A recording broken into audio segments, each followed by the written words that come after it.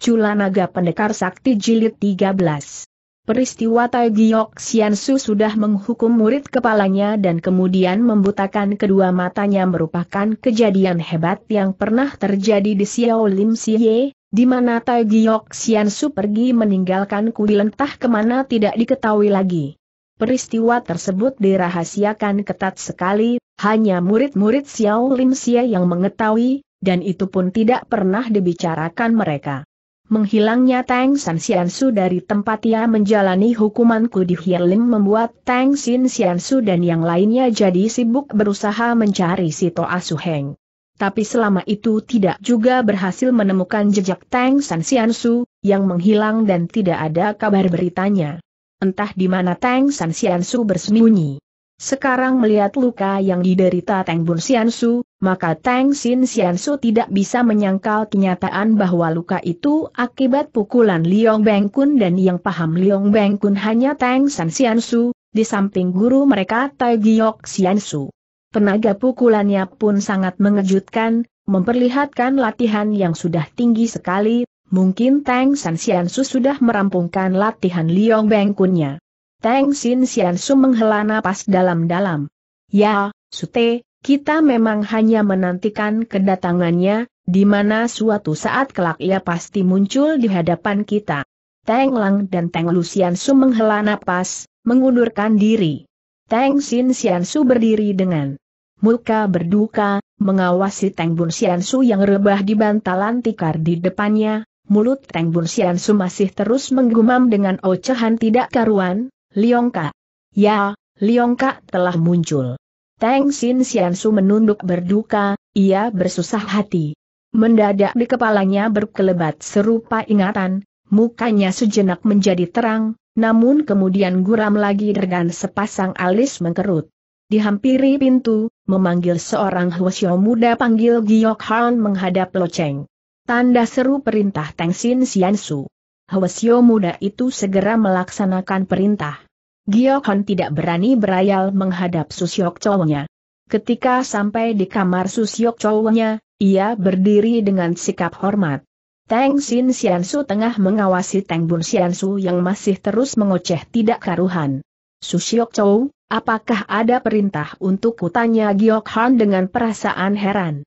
Teng Sin Xiansu memutar tubuhnya, menghela napas wajahnya memancarkan kedukaan mendalam, sehingga tampaknya pendeta Alim Hong Tio Xiao Lim Xie ini bertambah tua melebihi dari usia sebenarnya. Belum pernah Giokon melihat muka Susyok Chowinya seperti itu, karena biasanya berseri sehat dan memerah segar.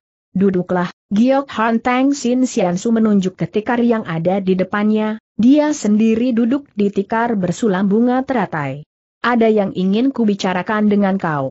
Hati Giok Han diliputi tanda tanya, tapi dia tidak berani rewel, cepat-cepat duduk di tikar yang satunya, menunggu apa yang akan diperintahkan Susyok Chow-nya. Teng Sin Xiansu mengawasi Giok Han. Anak ini masih kanak-kanak, masih kecil sekali. Apa mungkin harapannya bisa diletakkan pada pundak anak ini? Tapi, Mengingat Giokon sangat cerdas, masih ada harapan yang bisa dijadikan pegangan dalam kesulitannya ini. Diawasi oleh Susyok Chuangnya seperti itu, Giok Han jadi kikuk dan hatinya semakin tidak tenang. Belum pernah Susyok Chuangnya mengawasinya seperti sekali ini. Sinar mata Hong Ti itu pun sangat tajam, sehingga Giok Han menunduk dengan hati agak menggigil sinar mata itu seperti hendak menyusup ke dalam hati Giok Han. Sudah setahun kau menjadi murid pintu perguruan ini, tiba-tiba Tang Sin Xiansu memecahkan kesunyian. Selama itu tampak jelas kau tekun berlatih diri. Ya, Susyok Chow, berkat petunjuk Susyok Chow dan Suhau, menyahuti Giokan ragu-ragu, katena. Dia belum mengetahui apa maksud Susyok Chow-nya memanggilnya menghadap. Apakah selama setahun ini KSU sudah mempelajari cukup ilmu silat Xiao Lim? Tanya Tang Sin Xiansu. Tidak beraya lagi Giok Han berlutut. Tecu mohon petunjuk Susyok Chow mungkin selama ini Tecu melakukan suatu kesalahan. Tang Sin Xiansu menghela napas. Duduklah, Giok Han sabar suaranya, mukanya tidak kaku seperti tadi.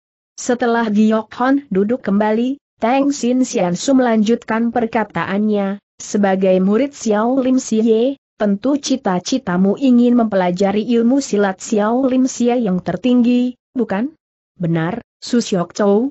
Tetapi tahukah kau bahwa Xiao Lim Xie memiliki 108 macam ilmu silat, yang setiap muridnya tidak mungkin bisa mempelajari sekaligus ilmu-ilmu itu yang beraneka ragam paling banyak hanya satu dua macam ilmu silat Xiao Lim Xie yang dipilih untuk diyakini dan dilatih sampai sempurna, itu pun sudah lebih dari cukup sehingga dalam kalangan Kangou sulit orang menandinginya. Jika kau bercita-cita mempelajari ilmu silat Xiao Lim Xie yang tertinggi, berarti kau harus memilih satu dari 108 macam ilmu silat Xiao Lim Xie kemudian melatihnya sebaik mungkin, pasti kelak kau bisa memperoleh kemahiran dan kesempurnaan untuk ilmu silatmu. Tapi jika kau mempelajari bermacam-macam ilmu silat Xiao Lim, tidak satu pun pada akhirnya yang bisa kau yakini dengan mahir. Kau mengerti, giok hektometer? Mengerti, Susyok Chou? Sudah berapa jauh gurumu mengajarkan ilmu silat Xiao Lim kepadamu? Tanya Tang Xin Xiansu. Coba kau jalankan untuk Lo Cheng lihat sampai di mana kemajuan yang sudah kau peroleh.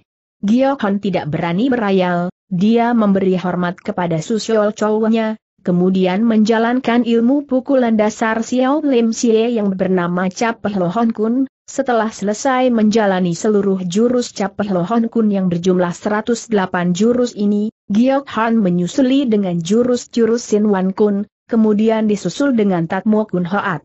Tang Xin Xiansu mengawasi dengan cermat, mukanya tampak terang sejenak, karena dilihatnya walaupun masih kecil, Giok Han sudah bisa menjalankan jurus-jurus Capeh Lohon Kun, Sin Wan Kun maupun Tatmo Kun Hoat dengan baik.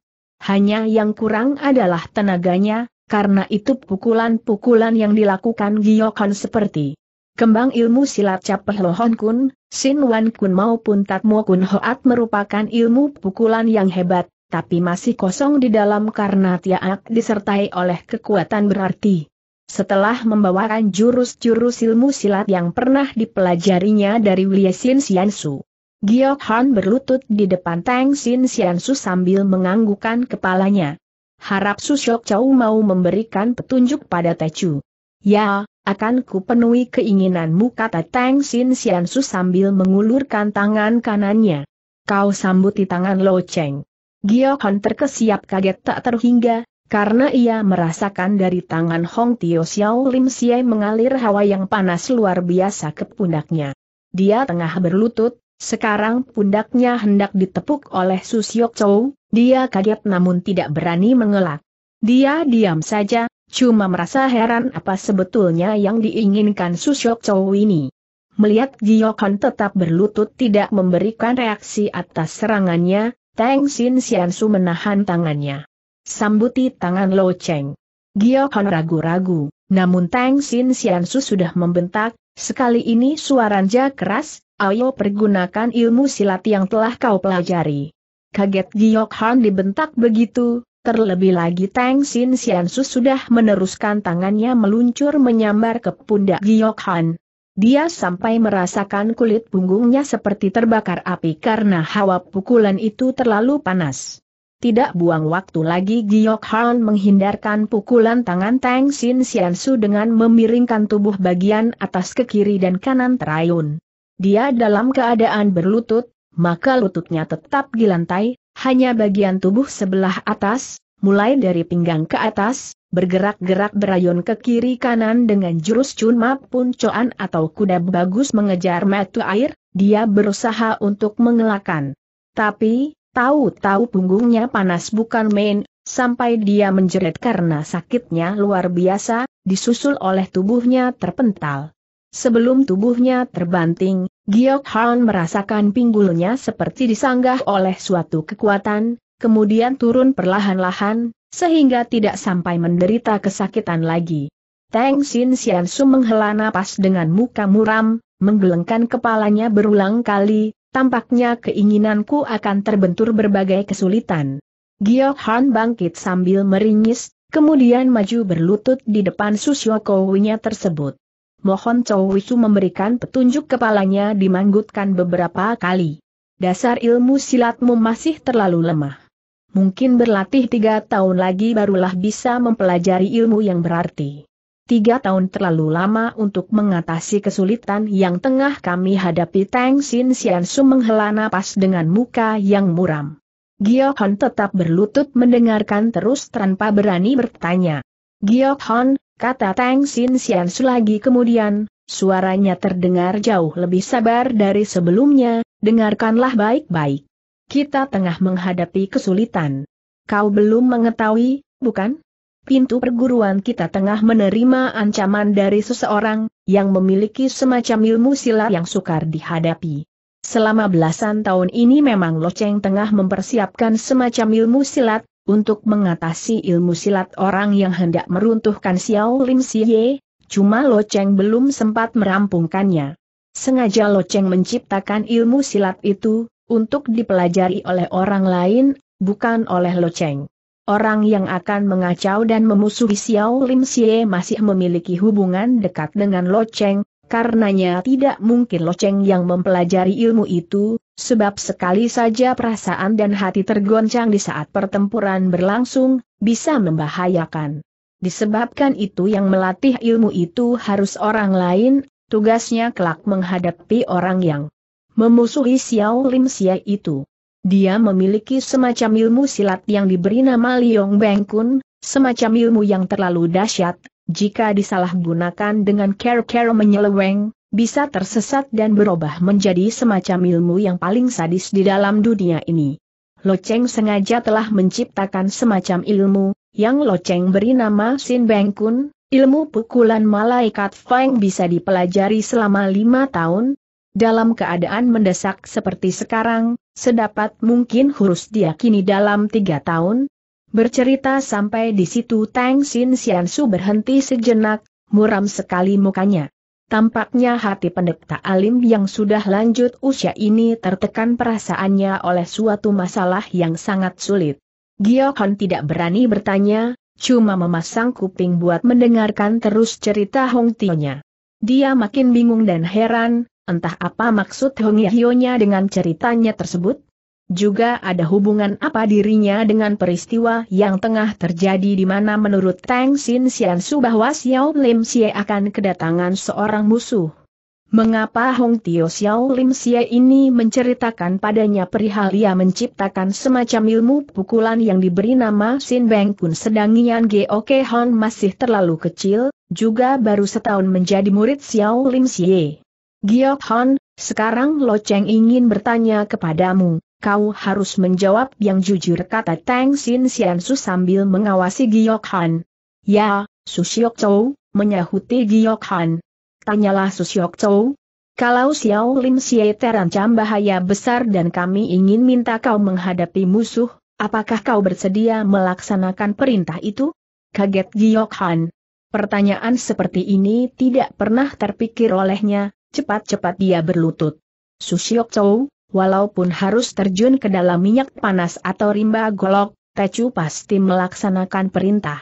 Tapi, Tecu, Tecu merasa belum memiliki kepandaian berani untuk melakukan sesuatu, apalagi harus menghadapi musuh, masih banyak suheng-suheng lainnya yang lihai.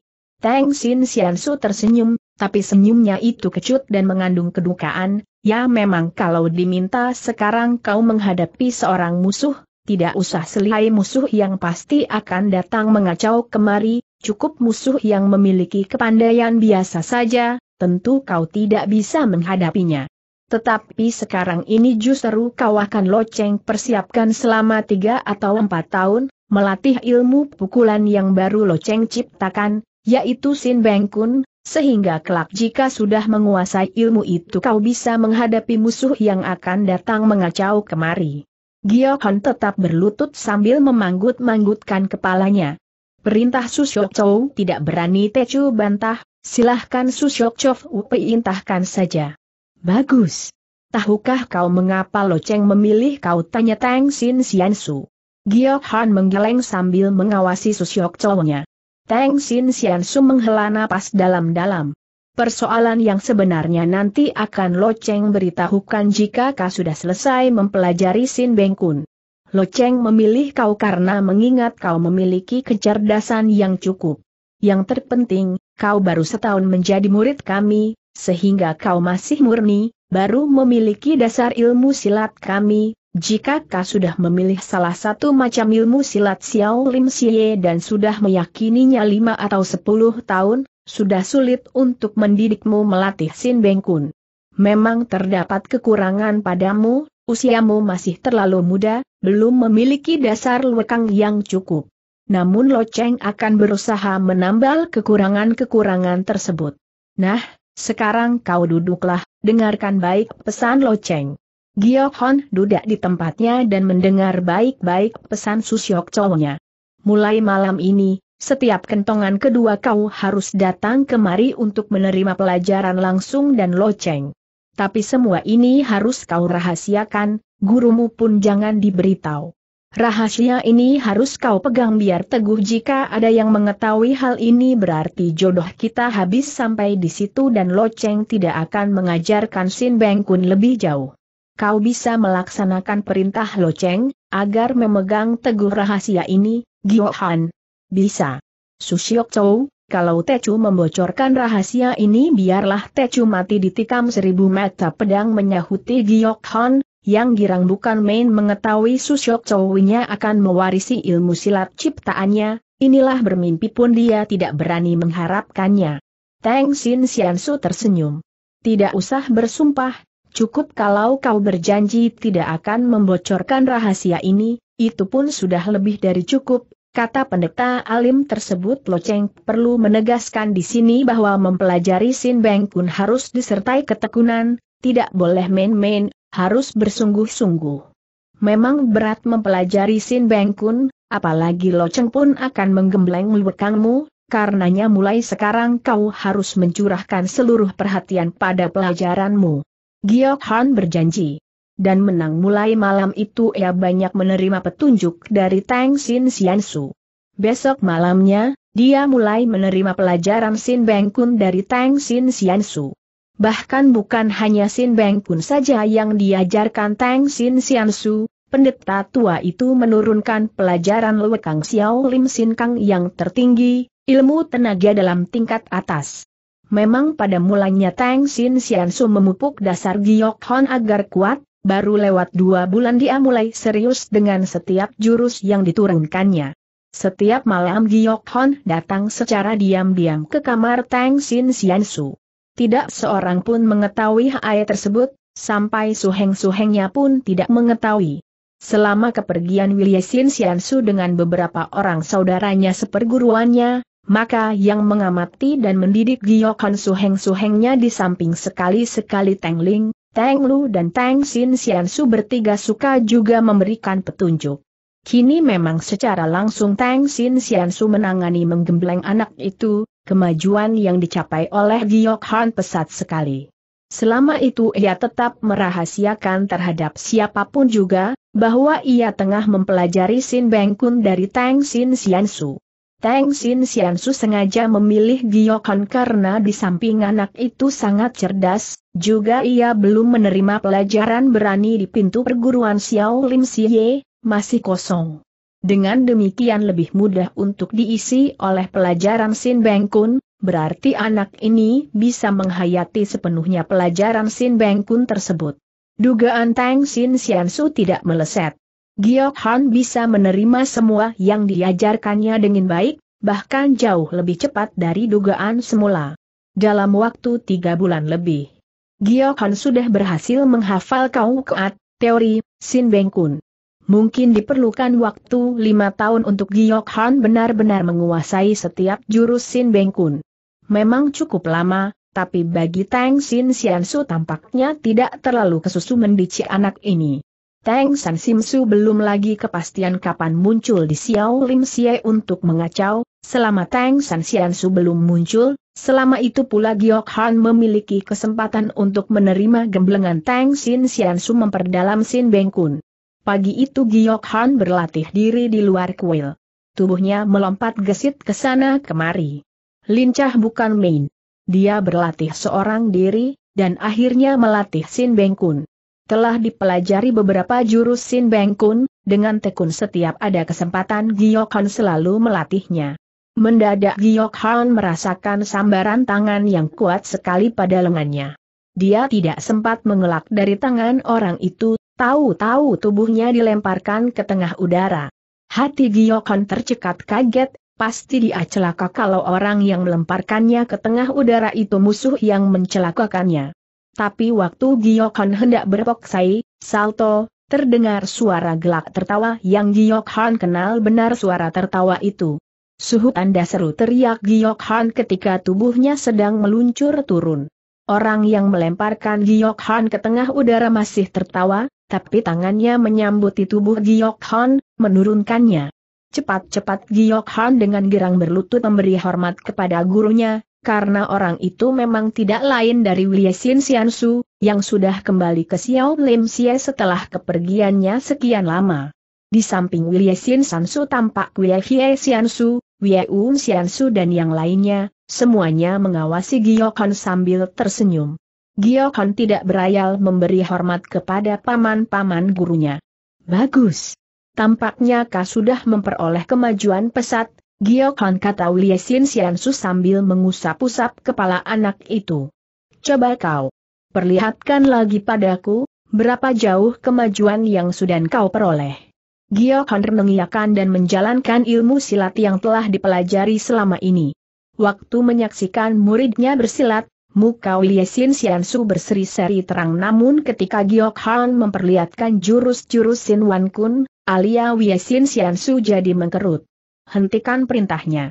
Giok Han kaget dan heran, dia berhenti bersilat. Wiesin Siansu menghampiri. Muka pendeta ini tampak keheranan. Tadi kau membawakan jurus Wan Toko, kerasakti mencuri buah, dari Wan Kun, tapi mengapa cara bergeraknya berubah dari yang kuajarkan? Jika yang benar harus dari kiri berputar setengah lingkaran sambil menggeser kaki kanan, tangan kiri menyerang ke depan, ke dada lawan. Tapi kau melakukannya sebaliknya, mengapa begitu? Giokon menunduk, belum pernah dah melihat gurunya marah seperti itu. Tecu memang telah merubah gerakan jurus tersebut suhu. Kau yang merubahnya tanya Wiesin Siansu, alisnya tambah berkerut jelas pendeta tua ini merasa tidak senang. Giok Han mengangguk.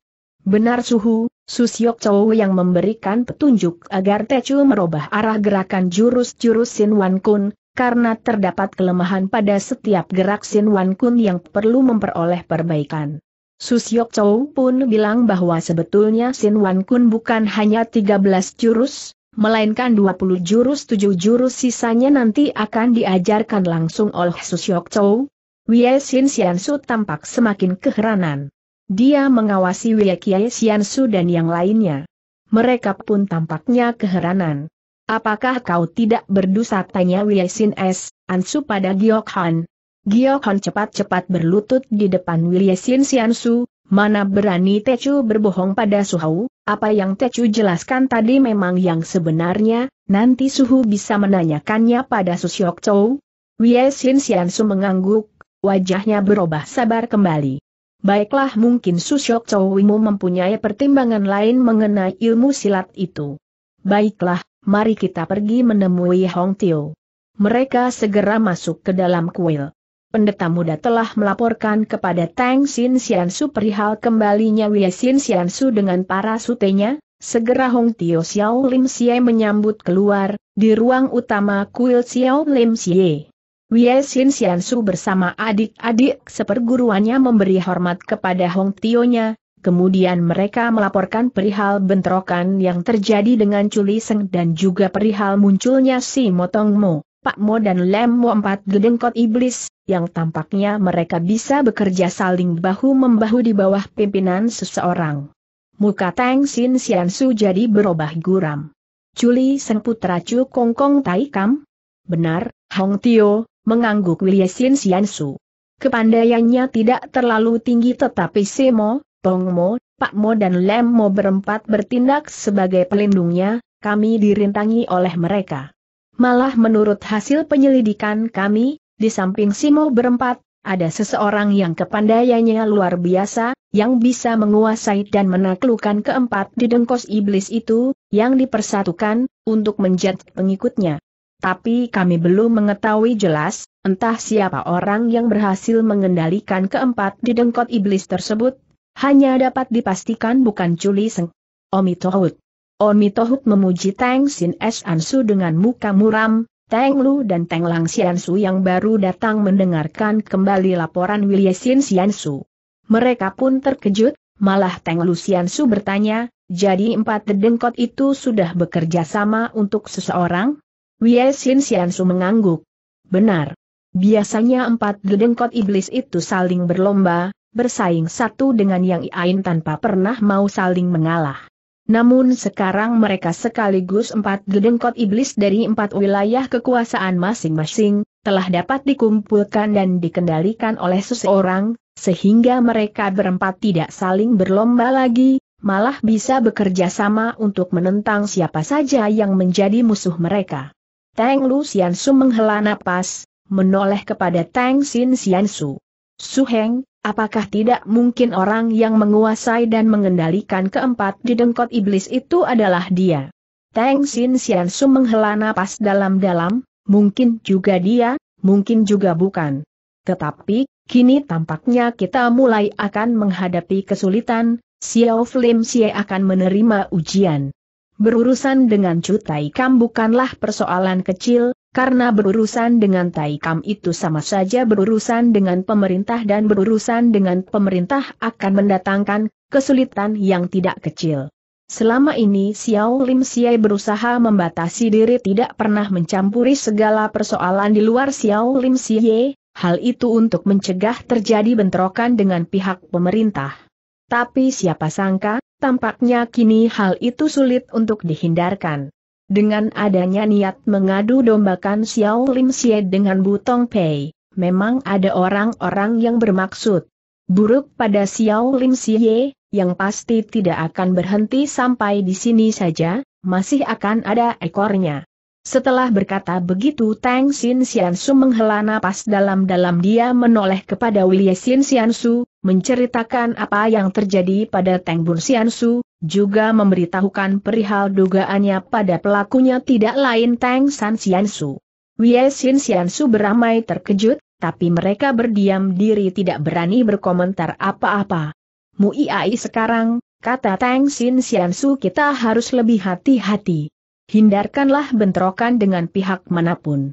Wiesin kau beritahukan murid-murid lain, untuk membatasi diri jangan melakukan kegiatan apa pun di luar kuil. Baik, Hong Tio menyahuti Wiesin Siansu. Perintah akan kujalankan segera, segera Wiesin Siansu dengan sute-sutenya mengundurkan diri. Teng Lu dan Teng Lang pun meninggalkan ruangan itu setelah berunding beberapa saat dengan Teng Sin Siansu. Melihat yang lainnya sudah mengundurkan diri, Giok Han pun bermaksud mengundurkan diri. Tang Sin Su tiba-tiba menoleh kepadanya, melambaikan tangannya. Kemari kau Giok Han. Giok Han menghampiri dengan sikap hormat. Giok Han, kata Tang Sin Su, suaranya jadi sabar. Peristiwa telah berkembang sedemikian rupa, maka Lo Cheng harap kau lebih tekun dan giat melatih Sin Beng Kun. Harapan Lo Cheng hanya padamu, kelak setelah dewasa bisa menjaga nama baik Xiao Lim Xie. Besok akan Lo Cheng beritahukan kepada gurumu, Wei Xin, agar sementara dia menghentikan pengajaran padamu, memberikan kesempatan sepenuhnya kepadamu melatih Sin Beng Kun. Tetapi, Lo Cheng harap kau tidak mengecewakan harapan kami. Giok Han cepat-cepat berlutut. Tecu akan memperhatikan setiap petunjuk dan berusaha tidak mengecewakan harapan Su Chou. Bagus. Berdirilah i perintah Teng Sin Xiansu. Perhatikanlah, Lo Cheng akan menurunkan sejurus lagi dari ilmu pukulan Sin Beng Kun kemudian Tang Sin Xiansu mulai bergerak sangat lincah, memberikan petunjuk Ie pada Giok Han. Dengan penuh perhatian Giok Han memperhatikan cermat sekali. Kemudian Tang Sin Su perintahkan Giok Han mengikuti setiap gerakan yang dilakukannya, anak itu bisa mengikutinya dengan baik. Tang Sin Su tampak puas. Pergilah kau berlatih lagi. Giok Han membungkuk memberi hormat dia ingin mengundurkan diri. Namun sebelum Giok Han meninggalkan ruangan tersebut, masuk seorang pendeta muda, melaporkan di luar kuil ada seorang pengemis yang mengaku sebagai murid Kaipang, ingin bertemu dengan Tang Sin Siansu. Alis Tang Sin Siansu mengkerut, dia heran apa maksud kunjungan murid Kaipang, itu. Malah pendeta tua itu sudah menduga pasti ada persoalan baru yang dibawa pengemis Kaipang itu. Perintahkan dia masuk kata Tang Sin Siansu akhirnya. Ternyata pengemis Kaipang itu tidak lain dari Tian Sin Chu mukanya pucat pias, sekali lihat Tang Sin Siansu tahu bahwa pengemis ini tengah menderita luka di dalam yang parah. Kiesu, pendekar, apa yang terjadi padamu tanya Tang Sin Siansu bimbang mengetahui di depan Fa adalah Teng Sin Su. Hong Tio Xiao Lim Xie. Tian Sin Chu memberi hormat. Lalu dia menceritakan apa yang dialaminya, pertemuannya dengan Tung Yang dan Tung Iren, pesan yang diminta Tung Yang agar disampaikan kepada pimpinan Xiao Lim Xie tersebut. Liong Ka. Oh, oh, oh, persoalan itu tampaknya menjadi persoalan yang cukup penting mengguman Tang Sin Su tambah guram mukanya. Sian Chai. Terima kasih atas berita yang dibawa Kiesu. Luka Kiesu tampaknya tidak ringan.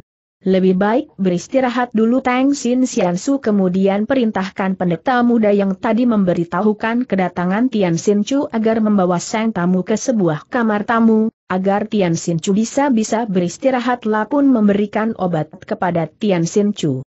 Seminggu lamanya Tian Sin Chu beristirahat di kuil Xiao Lim Xie kesehatannya berangsur membaik karena obat yang diberikan Tang Sin Sian Su mujarab sekali. Dalam kesempatan hal banyak yang diceritakan Tian Sin Chu pada Hong Tio Xiao Lim Xie, apa yang telah dialaminya, sebetulnya Tai Su, cukup membingungkan juga Tung Yang Tai Hiap bersama istrinya Yak berkepandaian tinggi bisa dia niaya seperti itu, sampai menemui ajal mereka kata Tian Sin Chu dalam suatu kesempatan bercakap-cakap dengan ketua Xiao Lim Xie tersebut. Benda apakah Liong Kak itu, Tai Su? Omi Tohut. Lo Cheng sendiri belum mengetahui sebetulnya benda apakah Liong Kak, Culanaga, itu. Tanda seru. Tadi Kiesu bicara perihal Poan Piantian, apa saja yang dikatakan padamu? Dia tampaknya hanya memiliki satu tujuan, yaitu memperoleh kepastian bahwa Tung yang berdua Tung Im sudah binasa. Kemudian dia pergi. Tahukah Kiesu Poan Piantian bekerja untuk siapa tanya Tang Sin Sian lagi. Si pengemis menggeleng sampai sekarang perihal dengkot iblis Simo, Pak Molem Mo dan Tong Mo pun belum lagi diketahui oleh kami bekerja untuk siapa, selain dugaan kami mereda berada di bawah pengaruhnya Culi Seng pemuda iblis sangat kejam itu, putra Chu Taikam. Poan Piantian apakah bekerja untuk pemuda iblis Culi Seng seperti keempat di dengkot iblis itu, belum kami ketahui. Teng Sin Sian Su menghela napas dengan perasaan jengkel. Peristiwa berlangsung demikian beruntun, Tampaknya ketenangan Xiao Lim Xie di waktu mendatang bisa dilanda oleh badai, dan gelombang. Dua hari lagi Tian Xin Chu berdiam di kuil Xiao Lim Xie, kemudian dia pamitan. Tung Xin Xian Su kirim salam buat Pang Chu Kai Pang.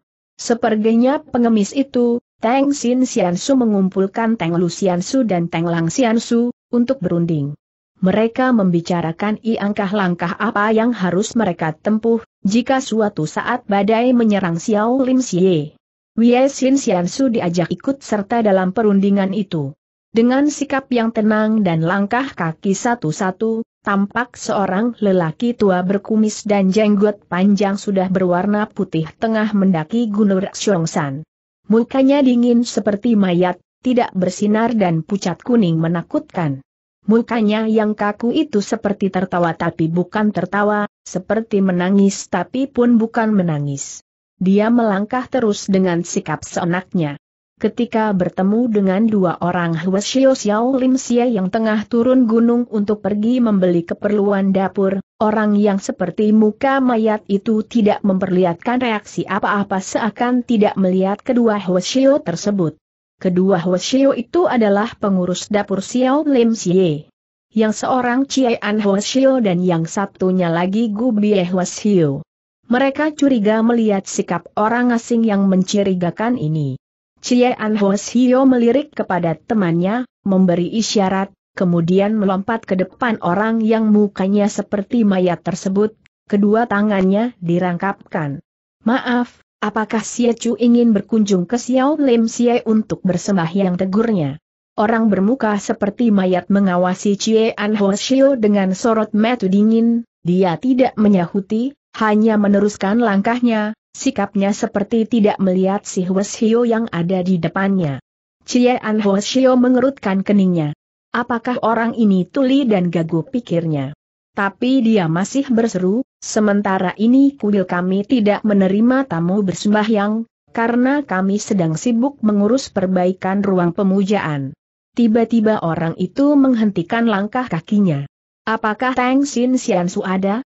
Pertanyaan itu tidak enak didengar oleh Cie An Hwasyo maupun Gubie Hwasyo.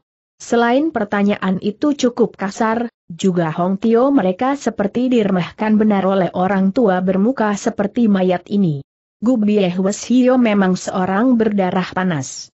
Dia memiliki tubuh yang kekar dan tegap. Kalau Chu tidak ada urusan penting, silahkan turun gunung. Sudah sebulan Hong Tio kami tidak menerima tamu. Tang Sin Su ada masih orang itu bertanya dengan nada yang dingin tidak pedulikan Gu Chie Hwasyo.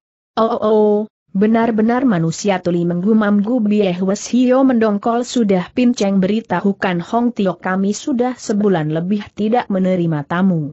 Muka orang itu tetap dingin. Dia merogoh sakunya. Tapi sekali ini Tang Sin Su pasti mau menemuiku.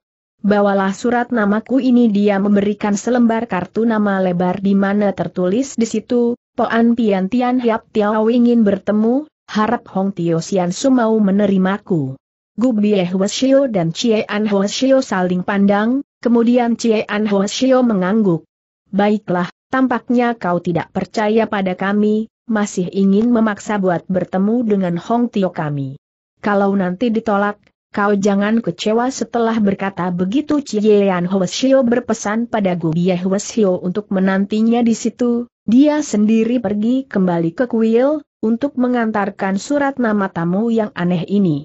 Tapi ketika Chiean Hwasyo memutar tubuh, orang bermuka seperti mayat itu, yang di surat namanya tertulis sebagai Poan Pian Tian Yap Bao ikut melangkah, Gus Hwasyo segera menghalanginya.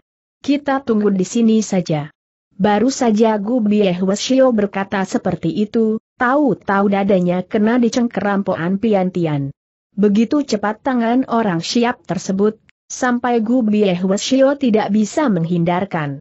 Dadanya kena dicengkeram, kemudian digentak ke samping, tubuhnya disendarkan ke batang pohon krikok, terdengar tulang iganya ada yang patah, dia menjerit kesakitan. Cie An Hwasyo kaget mendengar jeritan kawannya, menoleh. Dia tambah kaget. Ki mengapa kau lukai suhengku teriaknya sambil memutar tubuh untuk kembali. Tapi orang itu sangat gesit, tahu-tahu dia sudah menendang Gu Bie Hwasyo dan berada di dekat Chie An Hwasyo. Tangan kirinya pun bergerak sama cepatnya seperti tadi, mencengkeram dada Chie An Hwasyo, menghentak kuat sekali ke batang pohon, terdengar suara krek, Disusul jerit kesakitan Cie An Hwasyo sebetulnya Cie An Hwasyo tadi hendak menghindar dari cengkeraman tangan Yak Bau, tapi dia tidak berhasil, karena tangan itu bergerak terlalu cepat, tahu-tahu sudah mencengkeram dadanya dan tubuhnya kena ditarik keras, kemudian terdorong menyender di batang pohon, tulang iganya pun ada yang patah, seperti yang dialami Gubiye Hwasyo.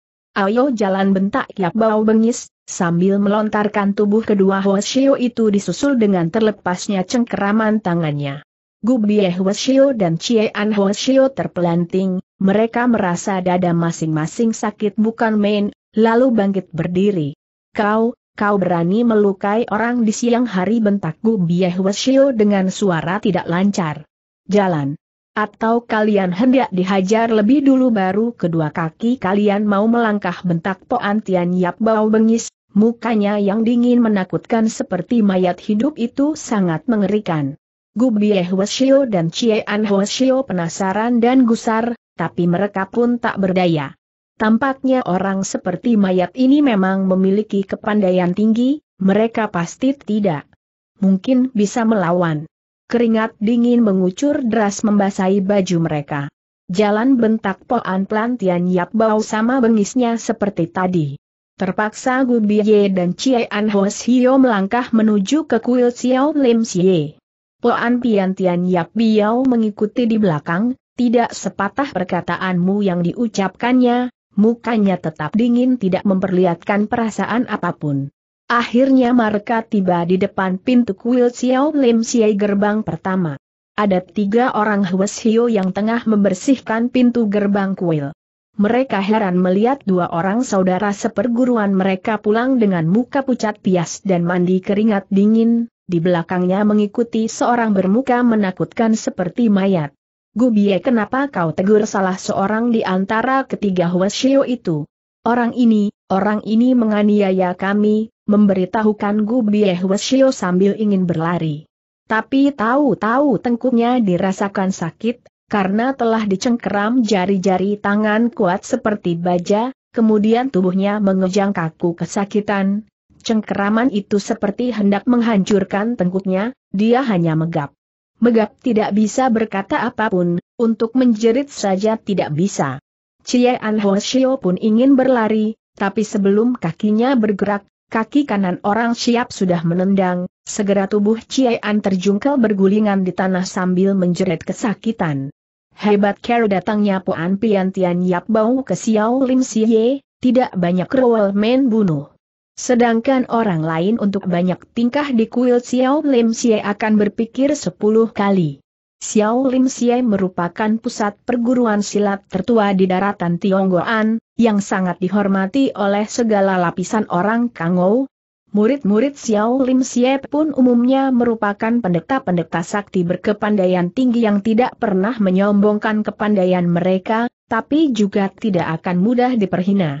Tokoh-tokoh Kangou umumnya menaruh hormat-hormat pada pendeta-pendeta Xiao Lim Xie. Tapi sekarang Poan Pian Tian Yap Bau sekaligus telah membunuh tiga Hwasyo di depan kuil Xiao Lim Xie, dalam sejarah persilatan memang inilah pertama kali terjadi.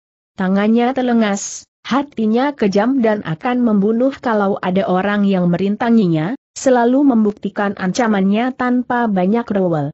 Gubie Hwasyo berdua Cian Hwesro jadi gentar juga, karena tamu tak diundang ini tampaknya tak main-main dengan ancamannya. Segera mereka setengah berlari ke ruang dalam untuk mengantarkan surat nama tamu yang ganas ini. Yap Bau tidak masuk lebih jauh, dia berdiri di pelataran kuil tersebut. Matanya bersinar dingin memandang sekeliling. Tidak lama ia menunggu, dari dalam tampak muncul beberapa orang Hwasyo, yang menghampiri padanya. Omi Tohut. Tohut. Ada keperluan apakah Kiesu berkunjung kemari? Sabar suara seorang Hwasyo yang berjalan di depan Hwasyo-Hwasyo lainnya. Dia Yesin Siasu, sabar sekali suaranya, hanya matanya tajam luar biasa menatap tamu yang menurut laporan Gu Biye dan Chie An Hio merupakan orang yang ganas bukan main.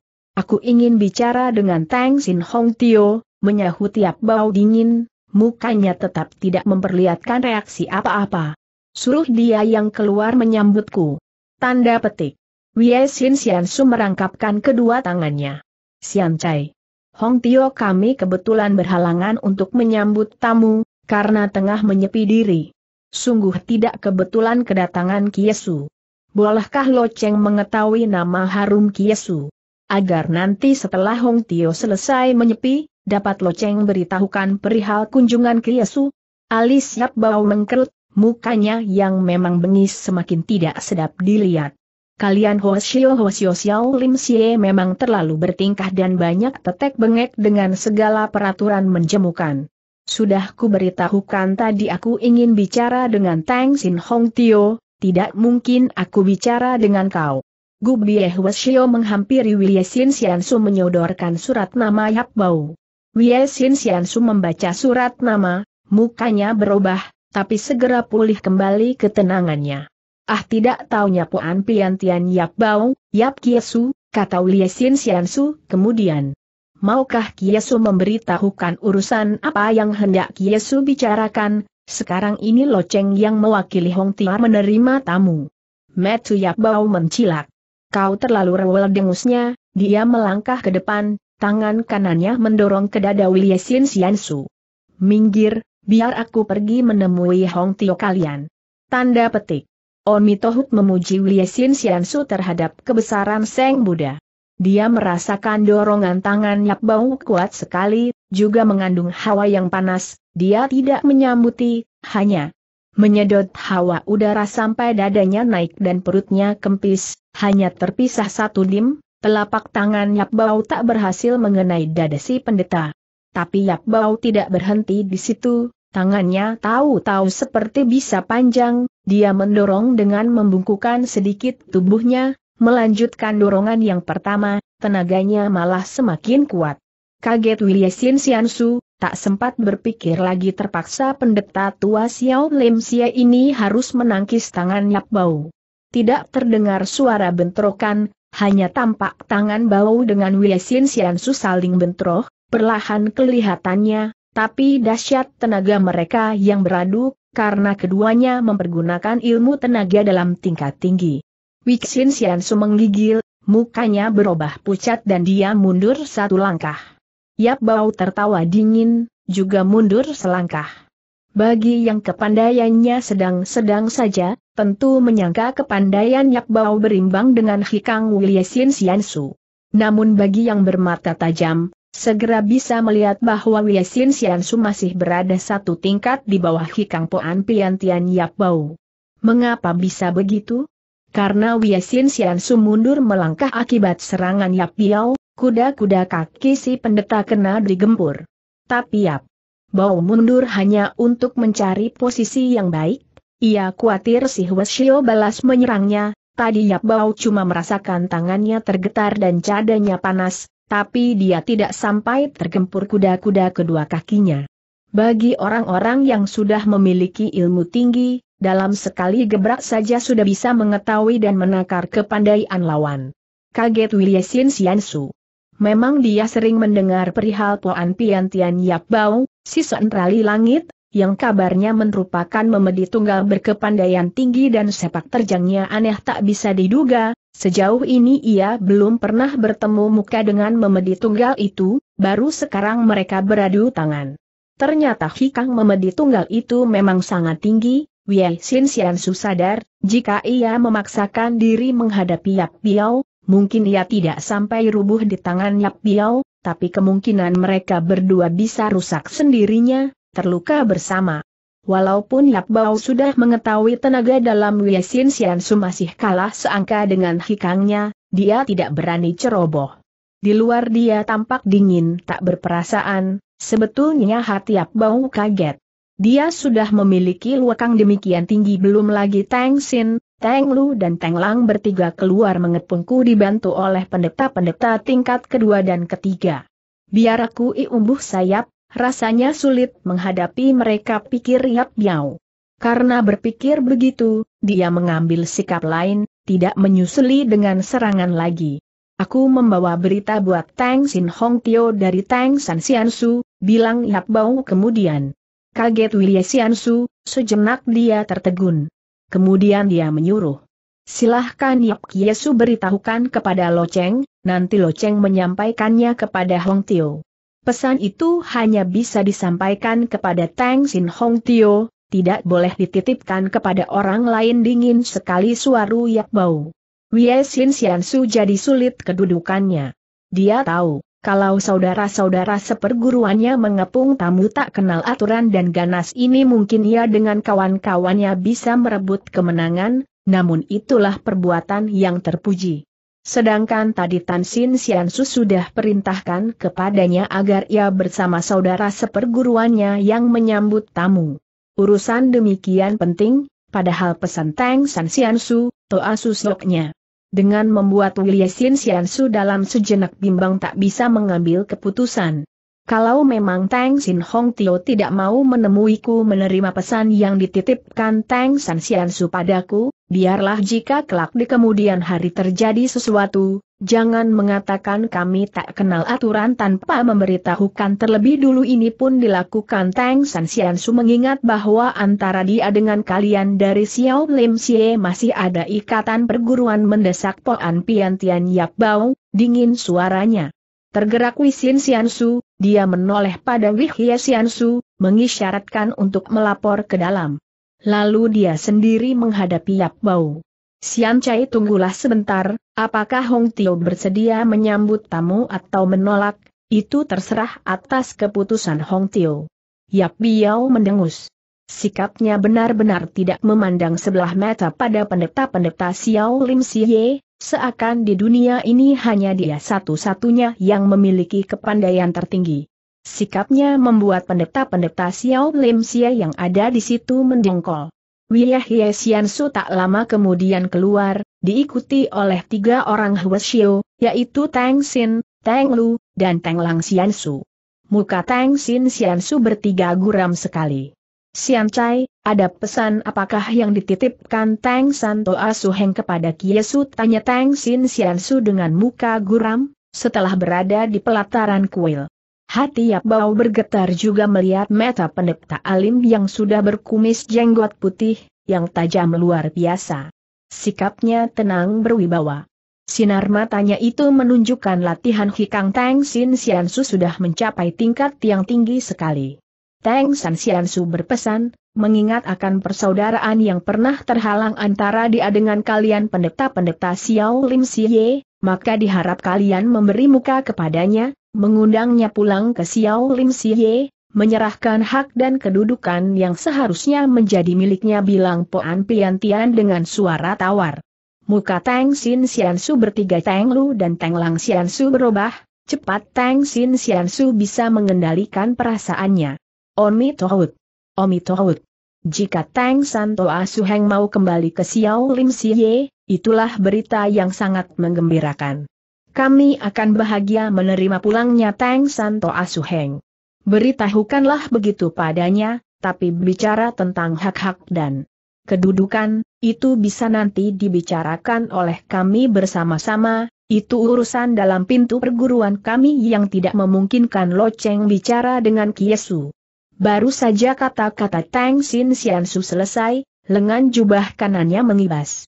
Yap Bau kaget, serangkum angin menerjang padanya. Jarak mereka terpisah cukup jauh, tapi angin kibasan lengan jubah Tang Sin Su menyambar sangat dahsyat. Cepat-cepat Yap Bau mengerahkan hikangnya dan balas mendorong. Kakinya menggigil keras, bahkan telapak kakinya melesak ke dalam lantai pelajaran satu dim, batu lantai retak pecah. Silahkan Kiesu memberitahukan pada Tang Santo Asuheng apa yang telah jadi jawaban kami kata Tang Sin Siansu lagi, sikapnya seperti tidak terjadi sesuatu, tenang sekali. Yap Bau mengeluarkan keringat dingin. Luar biasa tenaga dalam pendeta tua ini, sekali mengibas dari jarak terpisah cukup jauh bisa mengeluarkan hikang begitu dahsyat. Jelas, ia tidak boleh main-main. Benar dia tidak sampai tergempur kuda-kudanya kedua kakinya, dirinya juga tidak sampai celaka, toh tadi dia sudah memusatkan sebagian terbesar tenaga hikangnya baru bisa mempertahankan kedudukan kedua kakinya. Sejenak Yak Bau terdiam, keringat dingin dihapus, baru kemudian dia bilang dengan suara. Tidak sedingin dan sesombong tadi, Teng San Su berperan untuk minta jawaban yang tegas. Tai Su cukup memberikan jawabannya atau tidak. Kalau menolak bilang menolak, kalau menerima beritahukan memang menerima, jangan bertele-tele. Omi Tohut. Omi Tohut. Teng San Tai Su Heng adalah saudara seperguruan kami, kami menghormatinya. Segala sesuatu nanti bisa bicarakan bersama. Nah, apakah Yesus sudah tak ada pesan lain dari Toa Suheng kami Metu Tang Sin Shio tajam sekali memandang Yak Bau. Biji mata pendeta itu, yang sikapnya tenang, tapi sinarnya melebihi mata pisau, membuat hati Yak Bau tergetar juga akan keangkeran sikap Hong Tio Xiao Lim Xie tersebut. Dia menggeleng.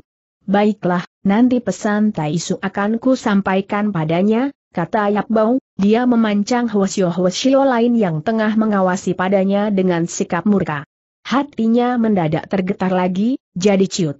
Kalau sampai Hong Tio Xiao Lim Xie turun tangan, dibantu oleh Teng Lu maupun Teng Lang Xian Su dan Hwasyo Hwasyo Xiao Lim Xie lainnya, biarpun ia memiliki lima kepala dan sepuluh tangan, tidak nanti dia bisa meninggalkan kuil Xiao Lim Xie. Hal itu disadarinya dengan mendadak, menurun kesombongannya. Dia memutar badannya hendak berlalu. Tunggu dulu mendadak di belakang Yao Bau berkesyur angin dingin menyertai bentakan itu. Yap Bau mendadak untuk menghindarkan pukulan itu, dia menangkis dengan tangan kanannya, tapi dia kecele, menangkis tempat kosong. Tahu-tahu pinggangnya sakit, dia sampai meringis, dan menyusul kuda-kudanya tergempur, tubuhnya terhuyung sampai beberapa langkah, namun tidak sampai terjungkel. Kaget bukan main Yap Bau, itulah perbuatan Tang Sin Sian Su yang menyerangnya dari jarak jauh dengan ilmu pukulan Choan Kang Chok Tek, dengan gelombang hikang merobohkan musuh semacam ilmu Xiao Lim Xia yang terkenal. Dengan Choan Kang Chok Tek musuh dapat diserang dari jarak cukup jauh, hanya menyalurkan hikang belaka. Akibat pukulan itu bahkan jauh lebih berbahaya dibandingkan pukulan langsung. Cuma, orang yang bisa mempergunakan jurus-jurus Choan Kang Chok Tek harus memiliki hikang tinggi, jika tidak jangan harap bisa mempelajari ilmu hebat Xiao Lim Xie yang satu itu. Tang Xin Xian Su merupakan Hong Tio Xiao Lim Xie, hikangnya sulit diukur lagi, dia sudah melatih baik sekali Choan Kang Chok Tek. Melihat Yap Bao hendak meninggalkan Xiao Lim Xie begitu saja, spontan ia menghibas dengan tangan kanannya, dari lengan bajunya menyambar hikang yang tersalur. Karena mempergunakan Choan Kang Chok Tek memang kesudahannya membuat Tiap Bau kaget sekali. Ketika dia menoleh, dilihatnya Tang Sin Sian Su berdiri angker mengawasinya, sikapnya luar biasa. Yap Kiesu, kau sudah menyampaikan pesan yang dititipkan oleh Toa Heng kami, tapi yang belum dipertanggungjawabkan oleh Kiesu ialah kelakuan Kiesu yang mengacau di kuil kami. Apakah setelah membunuh tiga orang murid kami, Kiesu mau berangkat begitu saja? Omi Tohut. Omi Tohut sabar suara Tang Sin Siansu, tapi sikapnya angker berwibawa, menunjukkan ia serius sekali dalam persoalan ini. Yap Bau mengerutkan alis, mukanya yang dingin jadi semakin dingin, Walaupun hatinya berdebar juga menyaksikan keangkeran Hong Tio Xiao Lim Siela bisa memahami makna perkataan Hong Tio tersebut yang ingin menahannya. Apa yang Hong Tio kehendaki dariku? Apakah Hong Hio hendak mempergunakan tenaga banyak buat menahanku? Silahkan. Aku akan menerima dengan senang hati sengaja Yap Bau mengejek menantang seperti itu. Omi Tohut. Kami mana boleh bertindak seperti itu, kami selalu diharuskan bertindak dengan penuh welas asih, harus memberikan contoh-contoh yang baik, Sian Chai. Tak. Mungkin kami bertindak serendah itu. Lo Cheng hanya ingin minta pertanggungan jawab Yesu terhadap ketiga murid Xiao Lim Xie yang telah dicelakai Yesu Mat Tang Sin Sian Su tak berkedip, mengawasi tajam Yap Bau. Bergidik juga Yap Biao ditatap begitu oleh Tang Sin Su, tadi ia sudah merasakan tenaga Hikang Hwasyo ini luar biasa. Memang ia tidak jeri, hanya ia khawatir kalau nanti dirinya masuk dalam lingkaran pengepungan pendeta-pendeta Xiao Lim Xie yang bisa saja mempersulit dirinya. Benar tidak mungkin ia merubuhkan Tang Xin Xiansu, mengingat Wekang Hwasyo itu lebih menang darinya, hanya dia memiliki ilmu istimewa andalannya, yaitu ginkang yang bernama Tau Sui Tau Su, menenun menginjak rumput, semacam ginkang kelas tinggi yang jarang sekali tertandingi dalam kalangan Kangou. Yap Biao justru angkat nama besarnya dengan mengandalkan ginkang Tau Sui Tau Su-nya tersebut, di mana dia bisa berlari dan bergerak melebihi kecepatan kilat. Betul Choan Kang Chok Tek Tang Sin Sian Sulihai melebihi dari ilmu umum Pekong Chiang, pukulan udara kosong, rasanya untuk bisa meloloskan diri Yak Bau masih bisa, dia mungkin saja melayani si pendeta alim itu dengan ginkangnya yang sangat tinggi, dan mencari kesempatan buat meloloskan diri. tapi kalau sampai dia tergulung dalam kepungan pendeta-pendeta Xiao Lim Xie biarpun dia tumbuh sayap tentu tidak mungkin bisa meninggalkan Xiao Lim Xie. Setelah menenangkan goncangan hatinya, Yap Bau tertawa dingin mukanya yang mengerikan tarabah menyeramkan jadi apa yang Hong Tio kehendaki? Jiwaku? Hutang jiwa ganti jiwa, begitu? Omi Tohut. Omi Tohut. Sedapat mungkin kami menjauhi permusuhan ataupun dari mengalirnya darah tapi tadi Yesus sudah turunkan tangan berdosa kepada tiga murid kami, Yesus harus mempertanggungjawabkannya. Loceng mengingat kebesaran Seng Buddha akan memberikan kesempatan pada Yesus menyambuti tiga pukulan, kalau Yesu sanggup menerimanya, itulah nasib Yesus masih dilindungi Seng Buddha, tapi kalau bercelaka itu pun tanda dosa Yesus sudah tak berampun melewati takaran. Diam-diam Yak Bau girang. Bagaimana lihainya Tang Sin Su, tapi kalau hanya menerima tiga pukulannya apa sulitnya? Dia yakin bisa menyambutinya. Tidak perlu keras dilawan keras. Dia bisa mengandalkan ginkangnya yang luar biasa untuk mengelak dan memunahkan tiga serangan. Hong Tio Xiao Lim Xie itu, tanpa pikir panjang Jap Bao mengangguk. Baiklah, katanya silahkan Taisu memberi petunjuk. Tanda petik. Tidak ada senyum di muka Tang Sin Su, dia melangkah mendekat Yap Bao, yang waktu itu sudah bersiap-siap menerima serangan Hong Tio Xiao Lim Xie tersebut. Pendeta-pendeta Xiao Lim Xie pun mengawasi dengan tajam. Mereka ingin melihat bagaimana caranya Hong Tio mereka memberikan pengajaran kepada tamu yang ganas ini. Sudan bersiap, Kiesu.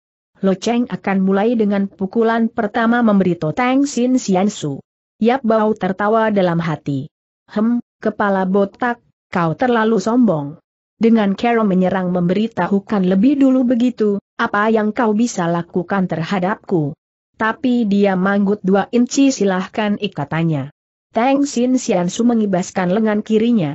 Lengan jubahnya yang kebesaran itu berkelebat ke arah Yak Bau, tangan kanannya tampak bergerak lambat sekali akan mendorong dada Yak Bau. Yap Bau jadi heran melihat Carol menyerang Tang Sin Su jurus biasa dari Capen Lohon Kun yang bernama Lohon Pein, Arhat menyapu. Awan, yang dikenal oleh setiap orang bulim, rimba persilatan.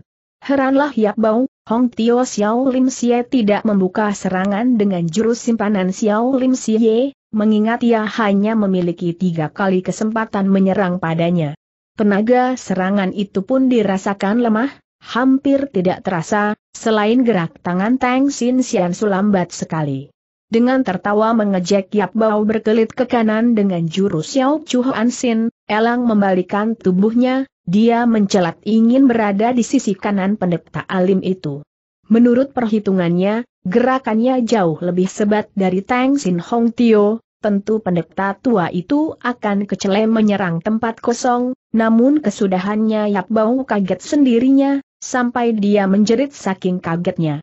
Tangan Tang Sin Su yang bergerak lambat ini tahu-tahu berbelok dengan kelima jari tangan menunduk ke bawah, dan telah mendorong, Tenaganya memang tidak keras atau kuat, tapi begitu Yak Bau mengibaskan menyampok tangan Hong Tio Xiao Lim Xie, tangan mendatangnya seperti karet, disanggah kuat, semakin kuat tenaga mendorongnya, semangat Yak Bau serasa terbang dan mukanya pucat.